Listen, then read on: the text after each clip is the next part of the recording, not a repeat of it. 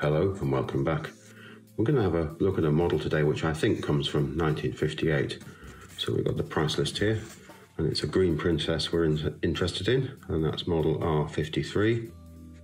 Princess, loco green. I think we've got 55 shillings and six. And underneath there, of course, because the, the tender was sold separately, there's tender green livery and then we've got six shillings and nine lovely looking price list with that red red type on that slightly cream looking paper. Just a swift look at the other side. It's in a lovely condition. There's the all important address at the bottom there. Westwood, Margate, Kent. We'll pop that to one side. I think we've seen this catalogue before. It's got somebody's name scribbled on the top here, Roger Jones. That terrific uh, group of models on the front of the cover there, and some of these filled in the O's look. So we'll just have a, a swift look inside. Now the Green Princess was available between 53 and 62, and I believe the model I'm looking at today comes from about 58 because it has the uh, early crest and it's got the full lining and valve gearing, brass safety valves, and we've got her on the layout with a handful of these coaches as well. Just have a, a quick look at the page on the left there, and there's the factory, and there's one of those little lapel type badges there. Terrific looking thing. I believe she shows up again on the, a later page in the, in the catalogue here. There she is at the top of that page of British steam locomotives. Lovely page, isn't it? There we go, we've got a detail. There's, there's two separate items here, R53 and R31 for the tender. We'll just have a, a swift look at the model here. So, Tri-ang Railways box, fairly nice condition. R53, 462 Princess Loco, green livery. Let's just look at the other end. It's been beaten a little bit more here, on and off shelves perhaps. Effect of tape there. See underneath. So that's what the box is for, to protect the model. Possibly a price has been there at some point, but there's not even any pencil marking for, for a price on the model here. So we can't cross-reference it with the price list. So it's fairly stiff to get the lid off here. So we'll just carefully remove it. There we go. And it's still got some of its packing pieces there. Just have a look at that. Missing the bottle of oil and, and no paperwork. Beautiful looking model, isn't it? Plain valve gear. Solid wheels, of course, from this period. I'm not going to take it out of the box just at the moment. We'll, we'll look at that in a moment we'll pop that down. And then we've got the tender. Again box has done its job over the years by the looks of it. R31 Princess tender. Green livery. Plenty of tape being on there and the flaps folded in so we must get access to the, the other end I think. Again a little bit of fading on the print there. Is that a price? I can't quite read the price on there. Or is it just just scribbling I'm not quite sure.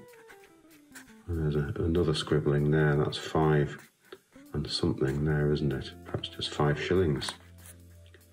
We'll just open that out there. We'll gently pull out the tender. This one comes out of the packaging a little bit easier. Now we see that lovely early crest. That lining almost perfectly intact there. Nice coal load. Mark II coupling on the back. Metal buffers pushed into the plastic work there. Sleeved wheels on solid axles, and we've got uh, Tri-ang's name and R30 and 31. Split model numbers there. And we've got uh, Made in England down there. I can't quite get that in focus, I don't think. Maybe we can just see that there. There's a little bit of shrinkage gone on on this tender if you look, look at this. I don't think it was made of acetate, but I think through age it's shrunk and warped a little, but she does run. Lovely amount of detail in there, isn't there? I don't know whether that's a moulding or, or varnish, or just where it came out of the mould. Two different, slightly different sorts of plastic, perhaps.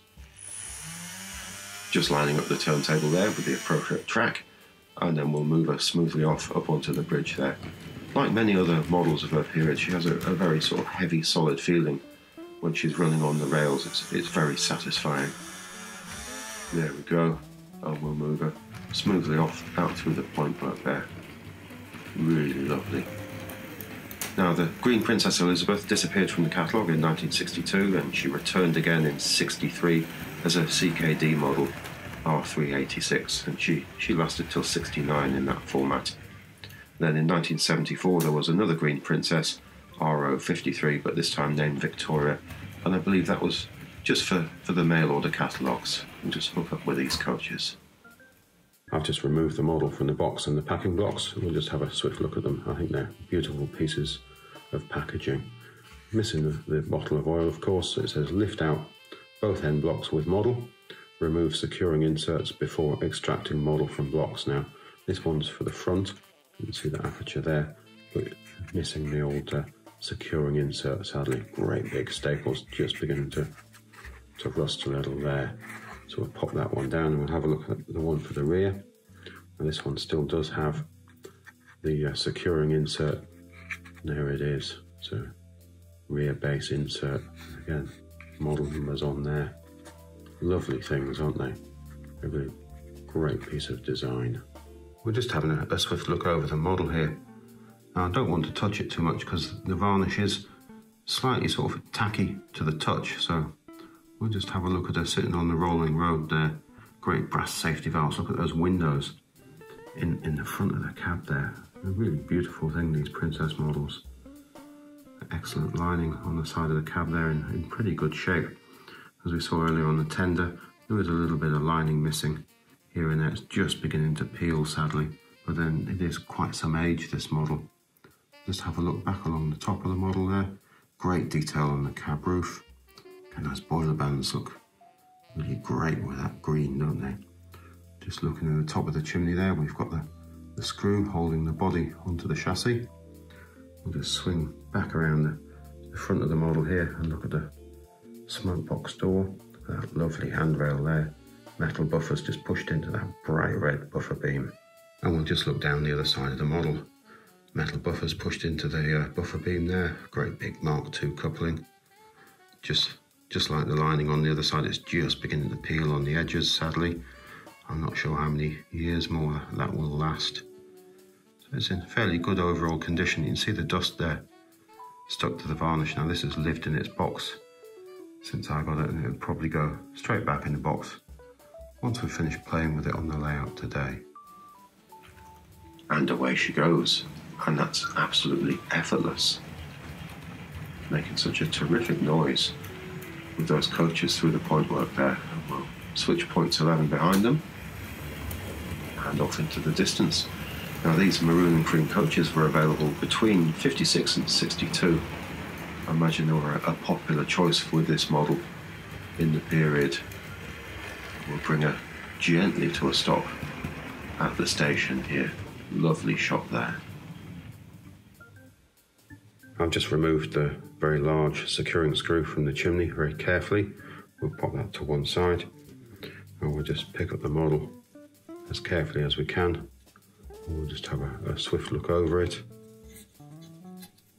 More specifically on the underside there because we've seen the outside of it already. We can see Triang's name, made in England.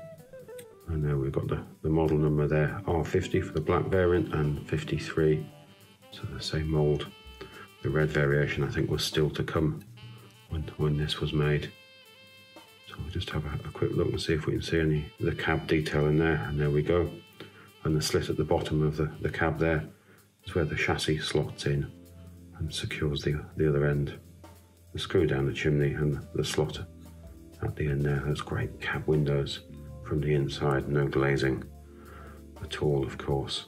You can see that transfer very very close up there, see how wrinkly it is over the over the plastic moulding. I wonder how long they will last eventually. Still, they're very pretty to have and look at and run on the layout today. So we'll pop that down. And We'll just have a, a swift look at the, the chassis here. If you look in the insert picture in the top right corner, you can see how beautifully she runs. And just have a, a swift look over it, see if we can get some focus. Not much run time on this model. Have a look underneath. It's a, just a lovely thing. Front bogey there with plastic wheels on metal axles. Really nice. I'll just turn that around and have a swift look at the other side. Go. I say the motor's done hardly any running whatsoever. And there she goes, absolutely effortless. Point works a little bit uneven there. Sadly, the baseboards have begun to warp, so I think we'll definitely use uh, plywood on the next occasion, whenever that might be. And we're going to go around the layout and through points number seven onto the outside line. That's the first radius curve there. That slows everything down a little. And straight through the points with no effort for us whatsoever. Switch those behind them. Storming into the third radius curve, picking up a little speed now in anticipation of climbing up. There we go. No Magnadhesion now, so we've got this tiniest bit of wheel slip, but I think she's doing okay. Leveling out now, up to express train speeds now, of course. But we will have to back off the power again as we drop down the other side. We don't want any dera- derailments as she comes into the, the curve there. Absolutely lovely. Just look at this shot. She storms past the diesel electric there. We'll just jump back into the 58 catalogue here. We've got uh, R28, the brake coach there, and sitting next to R29, the mainline composite coach. And we'll flip over a page and have a look at the, the restaurant car. Great blue curtains. There she is, model number R224. Now the brake and the uh, composite came along in 1956 and the uh, restaurant came along in 57. All three lasted till uh, 1962, although they, they did get uh, Mark III couplings and, and, bow ends by the time they, they disappeared. We'll just have a, a quick look at what these items cost back in 1958. And then we've got R28 the brake and R29 the composite, and both of these models are nine shillings and three. And if we look further down the list for the restaurant coach, R224, BR restaurant car, 10 shillings and six. Now, I think the the uh, the difference in price accounts for the interior fittings in in the restaurant car. The uh, the the brake and the composite didn't get uh, interiors until the early 60s, so that that could well account for the difference in cost there. So we'll just have a swift look over the models.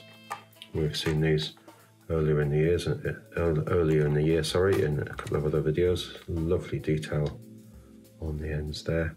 Great big numbering, although that did get smaller over time. So these these early models had flat ends rather than bowed ends, and the roofs on, on the the composite are, are glued on, although this one suffered some damage here. The underframe detail is shared across all of the all three of these models. We've got sleeved wheels and uh, open axle boxes there on each of these models today. So we'll just have a look at the restaurant coach.